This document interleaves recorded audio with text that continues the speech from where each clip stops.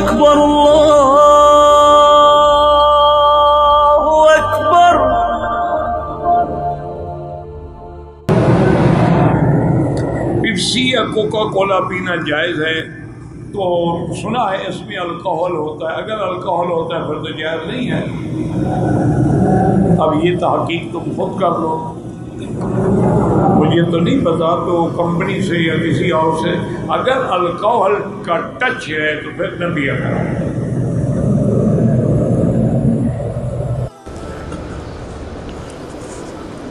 हम जब बात करते हैं, हर बात पे नहीं, अगर किसी से वादा करना है, किसी काम का आपने जिम्मा उठा तो फिर कहेंगे, इंशाल्लाह, ये नहीं कि हर बात इंशाल्लाह इंशाल्लाह इंशाल्लाह।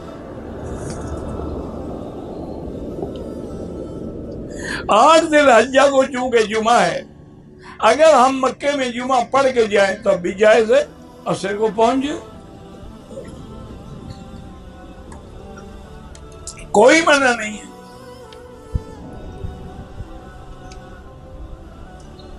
बिल्कुल, अगर जुमा ना पढ़े और चले जाए, तब भी कोई, चूँकि हाजी तो मुसाफिर उसमें तो जुमा वाजिब है ही नहीं।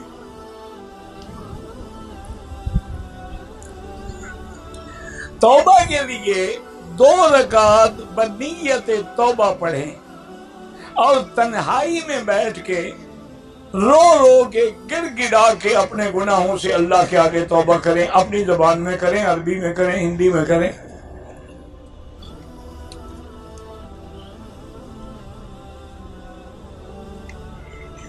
मेरी बहन है चार साल की, उसके लिए हज की बकरी वाजिब नहीं है।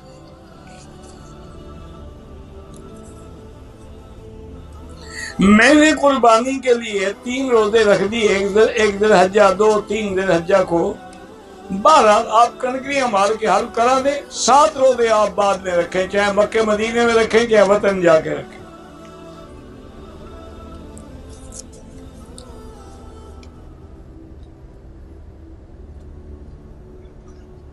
हमने इदारे को पैसे जमा करा दिए हैं।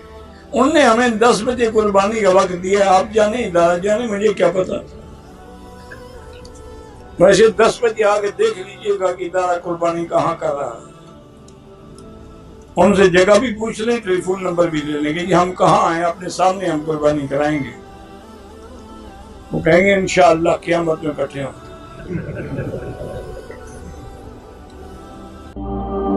अल्लाह अकबर, अल्लाह